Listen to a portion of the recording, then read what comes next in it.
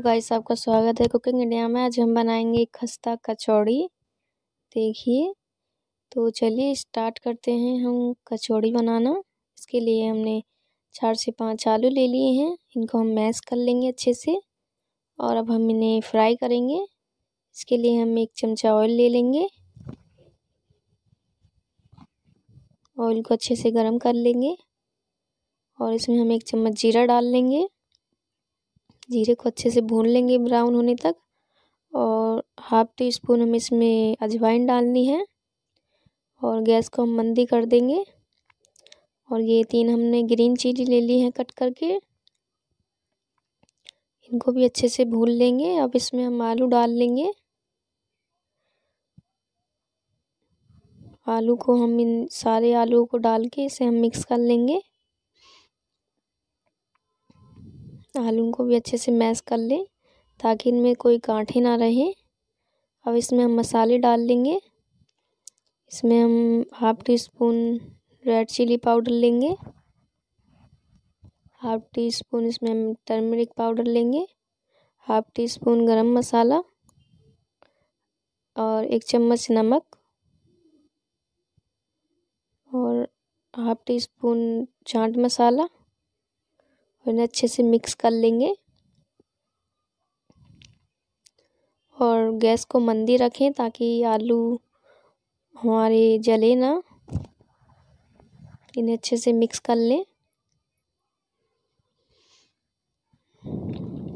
ये देखिए, पिट्ठी में कितना अच्छा कलर आया है हमारी में। इसे अच्छे से मिक्स कर लेंगे और आलू को अच्छे से मैश कर लेंगे। ये देखिए पिट्ठी हमारी रेडी हो चुकी है। इसे हम निकाल लेंगे।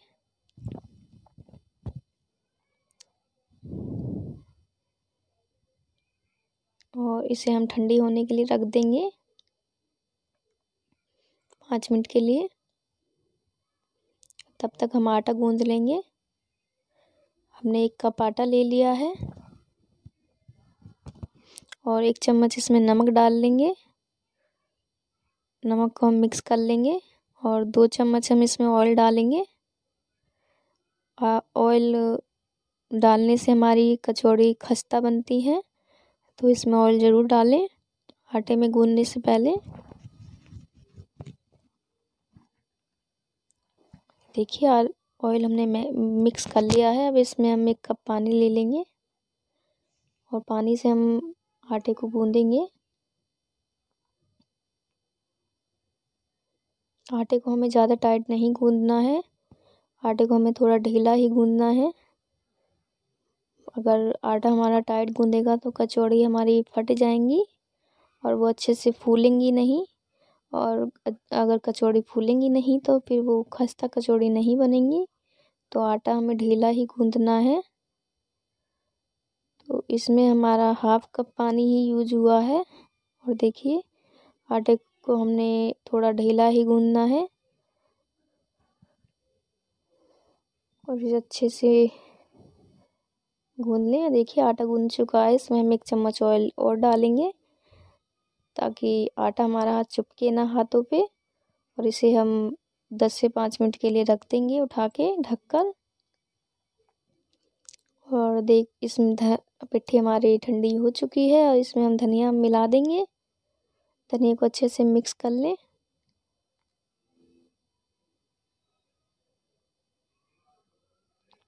ये देखिए, धनिया हमारा मिक्स हो चुका है।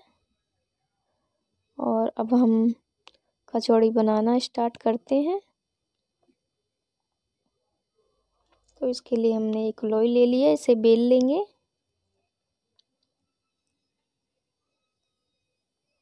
देखिए, इसमें अब हम पिट्ठी भरेंगे।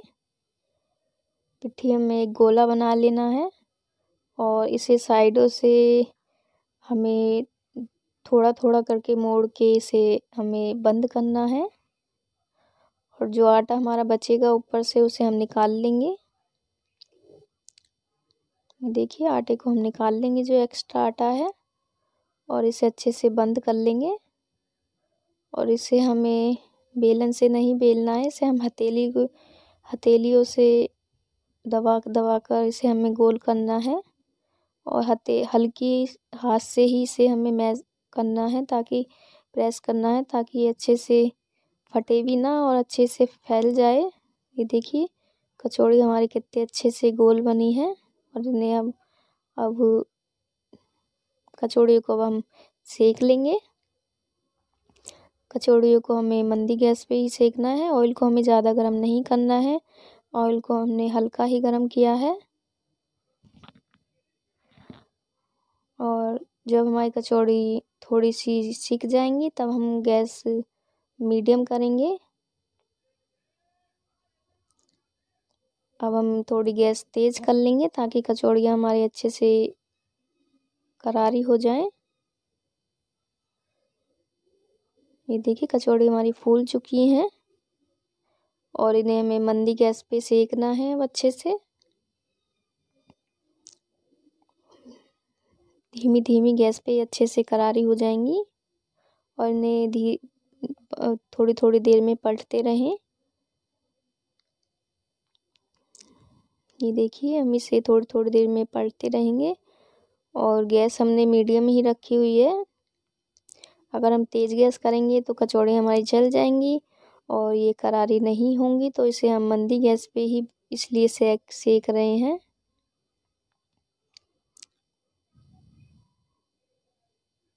ये देखिए।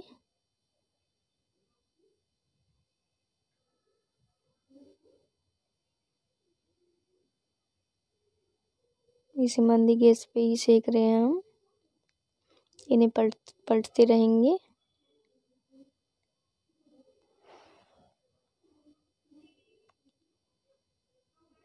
ये देखिए, कचौड़ी हमारी सीख चुकी है। इन्हें निकाल लेंगे और इन्हें हम निकाल लेंगे और आप इन्हें है। ये देखिए, कचौड़ी हमारी कितने अच्छे से फूल के करारी बनी है। और आपको हमारी वीडियो पसंद आए तो हमारे चैनल को सब्सक्राइब करें, लाइक करें, कमेंट्स करें, शेयर करें और आगे मिलते हैं हम नई वीडियो।